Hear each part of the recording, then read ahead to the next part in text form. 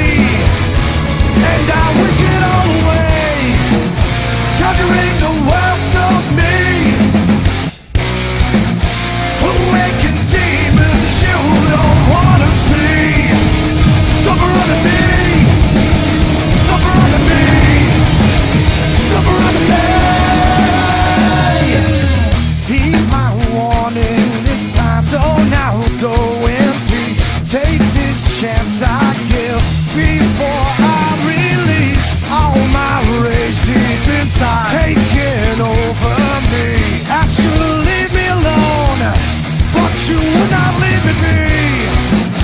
Cause